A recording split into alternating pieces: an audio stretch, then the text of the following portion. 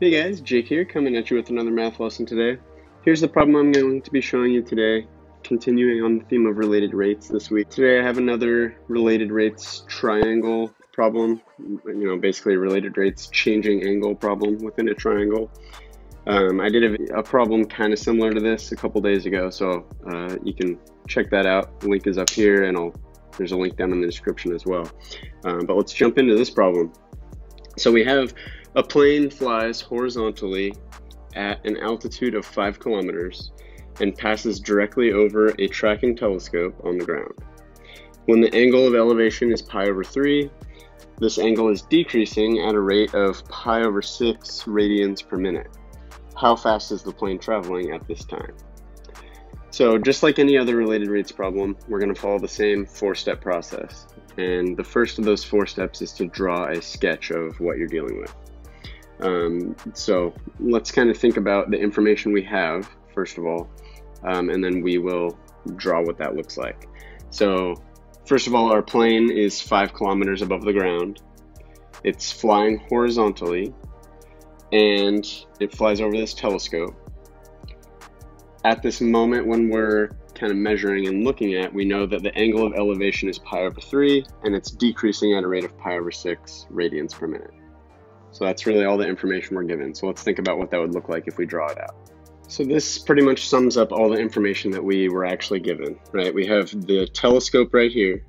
We have the plane, which flew over that telescope. We know that the plane is flying horizontally, and we know that it's five kilometers above the ground. That's the altitude they gave us. And then it also tell us, tells us that this angle of elevation between the telescope to the plane is pi over 3 at the moment that we're given. And it also tells us that this angle is decreasing at a rate of pi over 6 radians per minute. So I just kind of called this theta. You can pretty much call this angle whatever you want, but assuming that we're going to call it theta, we were told that that angle of elevation is decreasing at a rate of pi over 6. So basically what that tells us kind of in mathematical terms is d theta dt is negative pi over 6 because d theta dt represents the rate of change of this angle of elevation.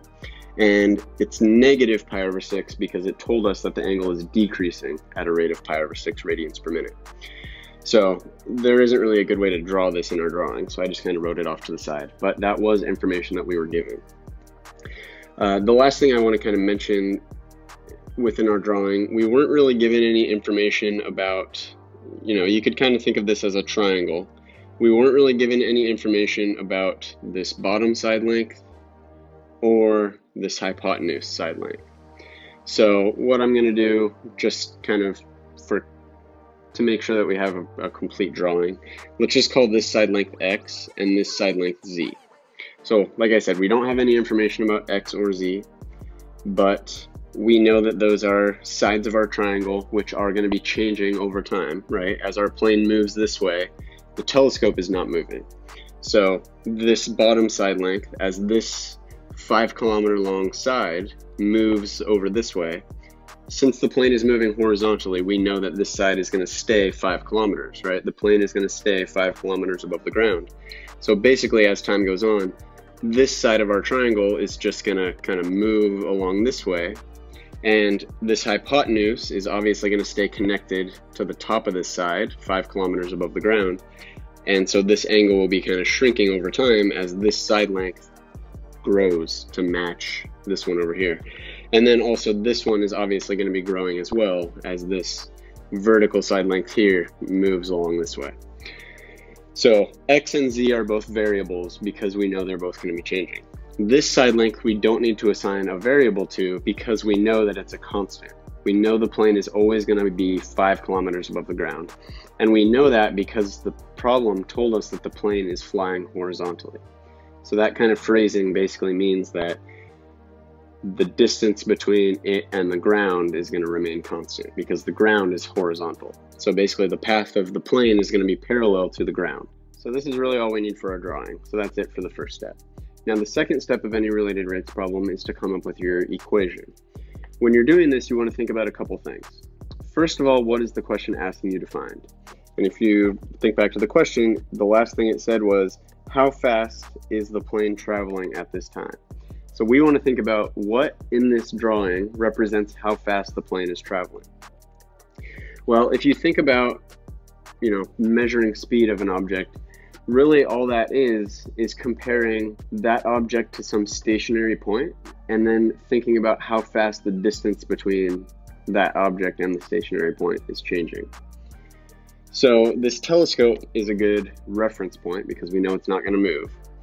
However, we don't just want to look at how quickly this distance between the plane and the telescope is moving because the plane is not moving perfectly away from the telescope. If it were moving in this direction, then we could use that as our reference point because it was moving perfectly away from the telescope.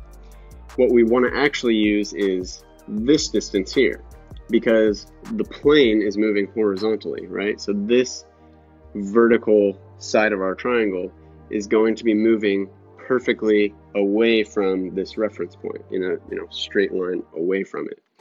So really the rate of change of this side here tells us how fast our plane is moving because our plane is moving parallel to this side length. So what that means is the thing that we want to find is dx dt, which is just how quickly this side length is increasing. That'll represent the speed that the plane is moving. So we know we want to find dx dt. That's our final goal. Once we find dx dt, that is going to be our answer. However, our equation should not have d anything dt in it. It should not have any rates of change yet. That won't come until the third step. In our second step, we just want to put, you know, distances, volumes, you know, physical measurements basically, and not worry about how those things are changing. Therefore, we know that what our equation actually should have is just x. Because if our equation has an x in it, once we move on to the implicit differentiation step, that'll get us to a dx dt. So we know our equation should have an x in it. Now what we also want to think about is what other information we know that we can relate to x somehow. So if we look at our triangle, we let's think about our side lengths first of all. We know that x and dx dt are going to be related to our answer. We know those have to be in there. If we look at this side length, we know at this moment that we're looking at, and really any moment, we know that this side length is going to be 5 kilometers. And also, since it's a constant, since it's never changing, we know that the rate of change of this side length is 0. So we know this side length and we also know its rate of change. At this moment, we do not know this side length, and we also have no information about its rate of change. So z is probably not a good variable to include in our equation here, just simply because we don't have very much information about it. We don't know its length, and we don't know its rate of change. x has to be there. This side length is good because we know its length and we know its rate of change, but z should not be in there. The other piece that we do have some information about is theta, right? We know at this moment that we're looking at, we know the angle of theta, and not only that, we also know its rate of change. We know the measurement itself and we know its rate of change. So theta is a good thing to have in our equation. So basically what we need is some equation that will relate this angle to this side length and this side length. So what things do we know about that do that? Well, we can use sine, cosine, or tangent because sine, cosine, or tangent all relate one angle of a right triangle to two of its sides. And that's exactly what we're doing here. We need to relate this angle to these two sides. So which one do we want to use if we're trying to use this angle along with the adjacent side and the opposite side, right? If you're considering this as your reference angle, we know that this is going to be the hypotenuse. The hypotenuse is always opposite of the 90 degree angle. And since this is our reference angle, this side down here is adjacent to that angle, and this side over here is opposite of that angle. Well, that's exactly what tangent does, right? Tangent of an angle is equivalent to the opposite side length divided by the adjacent side length. So if we take tan of this angle, that'll be 5 over x. So this is a perfect equation because it has the thing that we know has to be in there, and then it has theta and this other side length, which we know their measurements and their rate of change. So we have lots of information about everything in this equation except the one thing that we're actually looking for, which obviously we aren't going to know any information about that. But before we go on to the next step, let's just think about how we could rewrite this to be a little bit easier when we have to take the derivative. Because at this point we have a fraction here, and I don't really want to have to use quotient rule because it's more difficult. What we can do is rewrite this as tangent of theta equals 5 times x to the negative first power, right? These two things are the same. Moving it out of the denominator is just the same as raising it to the negative first power. But when we have to take the derivative of this term over here, we can do it with the power rule instead of the quotient rule. So it's a little bit easier. So that's it for our equation. That's all we need for that step. Now we can move on to the third step, which is applying implicit differentiation. So all that means is we're going to be taking the derivative of both sides of this equation with respect to time. So before we jump into that, I do want to take just a second to think about finding the derivative of tangent of theta. So in general, let's say we were taking the derivative of tan theta with respect to theta. So we're treating theta as our variable. I know that's not what we're going to be doing here, but um, this is kind of the first step in finding that derivative. If we were taking the derivative with respect to this variable here, what we would want to do is treat tangent theta as sine over cosine. And then, because we know tan of theta, tan of anything is the same as sine over cosine of that same variable. So from here, we could just use quotient rule to find this derivative. But I'm, I'm not going to go through all the details of that. If you want to try it, go ahead and, and give that a try. But this would be the same as 1 over cosine squared of theta. So we're going to kind of use this when we're taking the derivative with respect to time here, because 1 over cosine squared is going to come into play. There's just going to be one added step as a result of taking the derivative with respect to time instead of theta. So if we're taking the derivative with respect to time of this whole equation, both sides of the equation, we're going to have to use chain rule for both sides, right? Because we're taking the derivative with respect to time, so what that means is theta and x both have to be treated as functions of time. So taking the derivative of tan theta with respect to time, we're going to have to do chain rule, which means take the derivative of the outside piece, leave the inside alone, and then multiply that by the derivative of our inside. So if our inside is just theta, taking the derivative of the outside and leaving the inside alone is going to give us 1 over cosine squared of theta, just like what we were just talking about a second ago.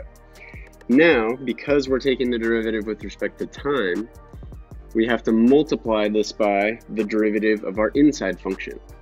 Well, the derivative of theta with respect to time is just d theta dt because we don't have an explicit formula for theta, so we can't really find its derivative. So this is the best we can do. This symbol here literally just means the derivative of theta with respect to time. So that's our left side. Now our right side, we're going to be able to use power rule and chain rule. So our, we'll treat our inside function as just x. So this is our inside function. So if we take the derivative of the outside function, leave the inside alone, that's just going to mean power rule, right? Bring the negative 1 down in front leave the inside alone, lower the power by 1, and then multiply that by the derivative of our inside function. Well, x is a function of time, so the derivative of x with respect to time is just dx dt. So that's it for your implicit differentiation step. Now we can go on to the fourth step, which is solving for the desired rate of change. Now remember, what we're looking for is how fast the plane is traveling, which is exactly what I said dx dt represented earlier. So all we have to do is solve for dx dt. So what we can do is multiply both sides of our equation by negative 1 fifth, and that'll cancel the negative 5 here. So times negative 1 fifth times negative 1 fifth over here and then we can also multiply both sides by x squared. And that'll cancel with the x to the negative 2. So this cancels with this.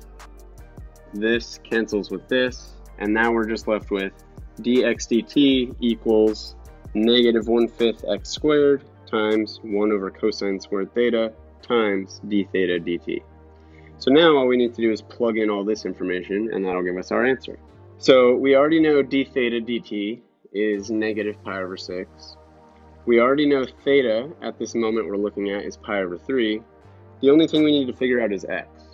To figure out x, we can go back to our original equation. Tan of theta equals 5 over x. And if we plug in theta, we can use that to solve our x.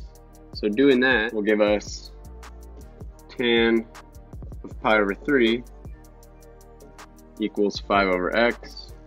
We can multiply the x over and then divide tan of pi over 3 over. So that gives us x equals 5 over tan of pi over 3. Pi over 3 is on the unit circle, so we can use the unit circle to figure out this value. Doing that will just tell us that x equals 5 over the square root of 3. So if we plug this in for x, plug pi over 3 in for theta, negative pi over 6 in for d theta dt, and then we can just simplify that or plug it into a calculator. And doing that will tell us dx dt equals 10 pi over 9 kilometers per minute. And remember, that is exactly what represents the speed that the plane is moving. If you found this video helpful, please give it a like and subscribe to my channel. It really is a great way to help support the channel so I can keep making videos like this and help you get through your math class. Really appreciate it. So thank you and see you next time.